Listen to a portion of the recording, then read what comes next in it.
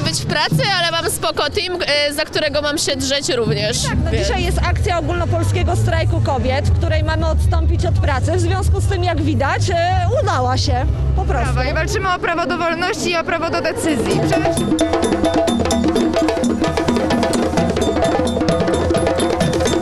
Tak, miałyśmy lekcje, ale przyszłyśmy tutaj. No, żeby walczyć o prawa.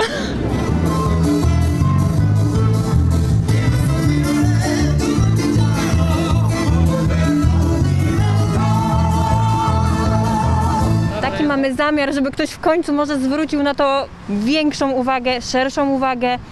Więc walczymy tak naprawdę nie tylko my jako kobiety, tylko walczymy my wszyscy jako obywatele o to, żeby nam nie zabierano kolejnych praw. Chcemy, żeby prawa kobiet y, nie były ignorowane i naprawdę nie mamy e, już siły wychodzić co roku i udowadniać tego, że kobiety zasługują na swoje prawa. Tylko kobiety strajkują, faceci też się przyłączają do tego strajku.